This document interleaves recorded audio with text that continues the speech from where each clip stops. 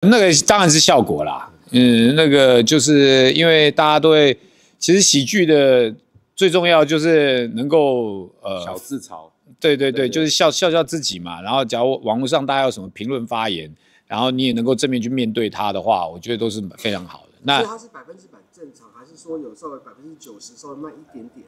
没有，我觉得他现在真的也算是百分之百了，因为他以前是百分之两百，意思就是说他现在恢复的蛮好的啦。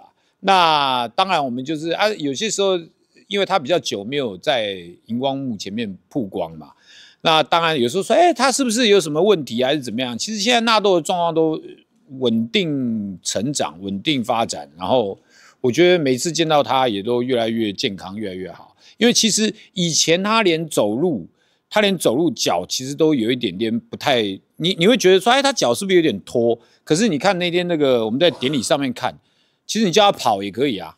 所以我们下一次决定说，我们要让他参加，我们要办一个运动会，田径，田径日，田径啊，对啊，然后叫他跳绳啊，然后叫他跨栏什么的。他这个其他的节目有时候出外景也都有在出啊，他也飞国外啊。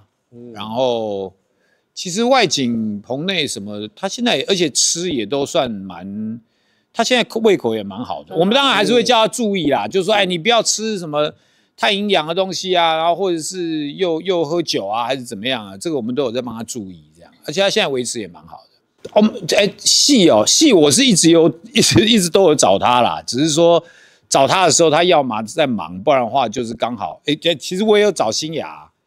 那都是都是你们在忙，对吗？对啊。就事事实上就是这样啊，就是在忙啊。假如有机会的话，一定是想要合作的，对啊。所以所以会啦，我我都会一直都有在。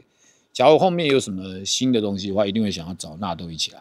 还有我，还有你，还还有立还有我都有都有都有都有。